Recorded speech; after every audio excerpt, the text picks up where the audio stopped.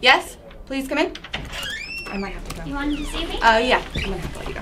Okay. Please come in. Sit down, please. this is a sensitive issue to bring up. I thought all the memos made it clear enough already, but apparently not. Monica, you are aware that we monitor employee internet use, right? Monica. Monica, Help! come back in. Sit down. Calm down. I'm not going to fire you. Oh, thank God. Believe me, if it was a punishable offense to look at erotica on the company dime, no one here would have a job, myself included.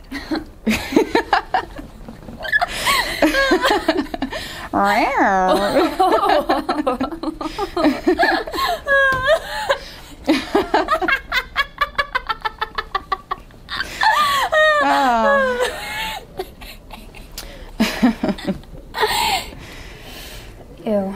Yeah. To get to the point, Richard down in HR has brought it to my attention that some of the things you search for are a little concerning. Oh? Well, that probably wasn't even me. Uh, we switch computers a lot during the day. It's a game, Duck Duck Computer. You know, I'm probably the goose right now. I should get going. I know it was you, Monica.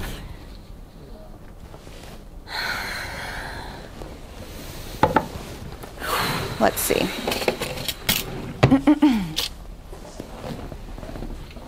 December 8th, 10:15 a.m., you searched Monica Davidson. That's my name. I'm well aware. What's the big deal? 10:35, Richard Mullins. Well, that's Richard. You know Richard from HR. I thought I'd check on him. Okay. 10:36, Richard Mullins nudes.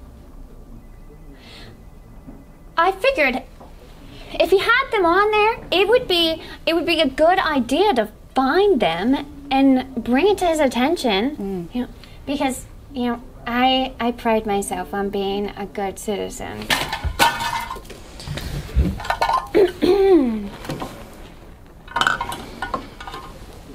Ten thirty-seven, Richard Mullins nude massage oils.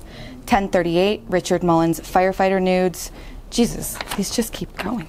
Richard Mullins nude backyard patio. Richard Mullins nude old-timey football helmet. Richard Mullins naked single sock. Oh, here's a good one. 1039, Richard Mullins naked chicken stew recipe. The last one was supposed to be two separate searches. Monica, is there something you want to tell Richard? You must be aware that he sees all this, right?